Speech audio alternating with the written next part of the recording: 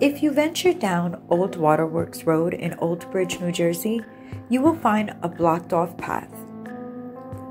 Story has it that down this path you will find Kill Yourself Bridge.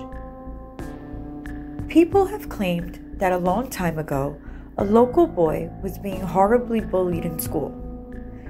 He walked out here one night and wrote Kill Yourself on the bridge and then killed himself.